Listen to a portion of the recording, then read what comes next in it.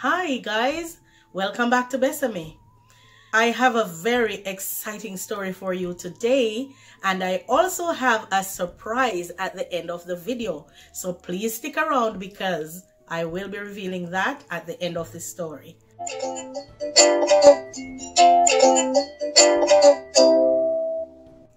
Androcles and the Lion There once lived a slave whose name was Androcles. His Roman master was very cruel and often beat him with a big stick. At last the poor slave could stand it no longer, and he made up his mind to run away. I will leave this dreadful place and go away into the country, he said to himself. There I will be free, and my cruel master will not be able to find me. Androcles knew that he would need to be very careful. If the soldiers caught him trying to escape, they would put him in prison. The slave waited until it was dark and then slipped quietly out of the house. He made his way very carefully out of the town without being seen by any of the soldiers. When he reached the country, Androcles ran as fast as he could. On and on he went until he came to a large forest. The slave walked for many hours through the woods. His clothes were torn by the thorny branches of the trees, and he was very hungry.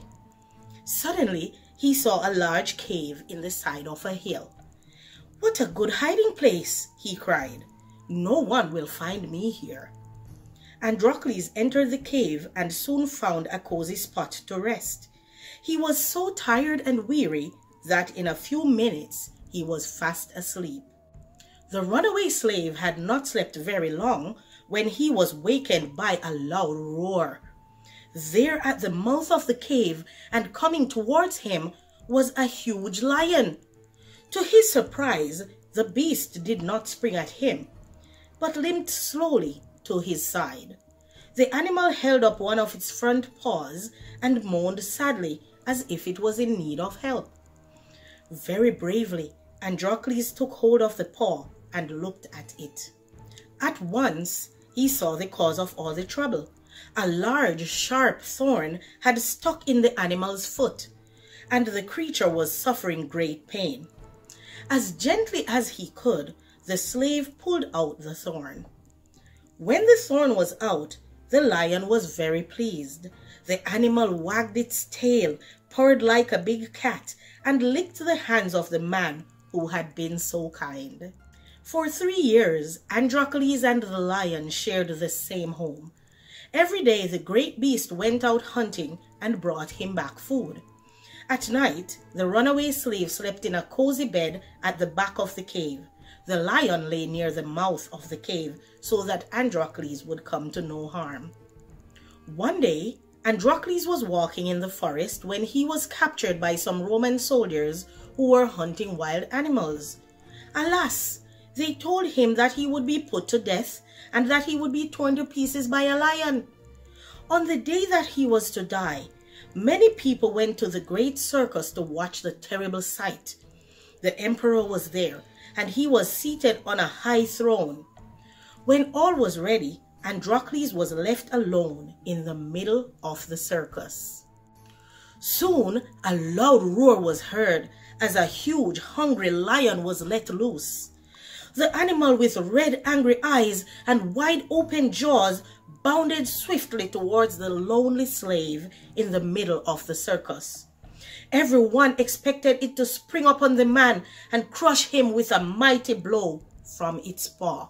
Suddenly, when only a few feet away from poor Androcles, it stopped and sniffed the air. The people were silent they had never seen anything like this before.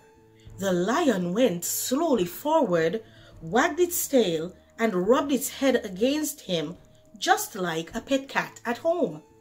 Androcles knew at once that it was his old friend who had lived with him in the cave. The people were amazed at the strange sight, and the emperor sent for Androcles. When the slave told him the wonderful story, the king was so pleased that he set him free and gave him the lion as a present. For many years, Androcles kept the lion as a pet, and they were always together. Everyone knew their story and smiled or waved as they passed. The lion followed his master everywhere he went, and at night the faithful animal slept outside his door. The end. Now, for the surprise. Da-na-na-na! Based on some suggestions from several people in the comments, I realized that there was a certain book that people would have liked me to read from, which is what I read from today. And that book is called Alibaba and the 40 Thieves and Other Stories. so I have this book now. I bought it. I found it in a bookstore in London. I'm going to read the contents list and I would like you to suggest what story you would like to hear next. Of course, I know you're going to all want to say Alibaba and the 40 Thieves, but that's toward the end of the book, so you can tell me about the other stories. Okay, here we go. The King and the Goose Herd, The Hedgehog and the Hare, The Princess and the Shepherd, A Strange Treasure, Anansi in Jamaica, A Kind-Hearted Boy, a clever trick.